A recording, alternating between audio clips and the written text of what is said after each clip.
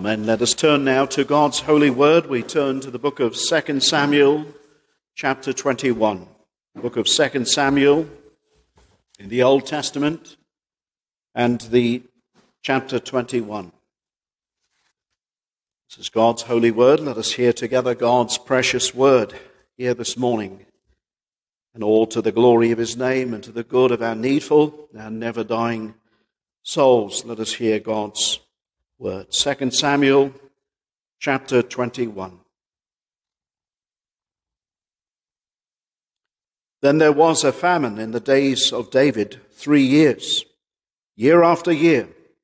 And David inquired of the Lord, and the Lord answered, It is for Saul and for his bloody house, because he slew the Gibeonites.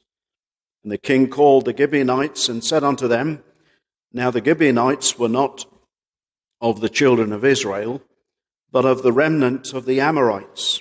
And the children of Israel had sworn unto them, and Saul sought to slay them in his zeal to the children of Israel and Judah.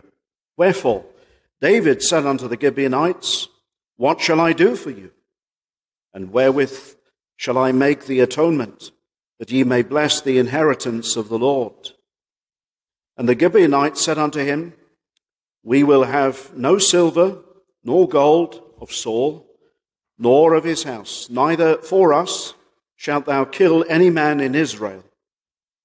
And he said, What ye shall say, that will I do for you.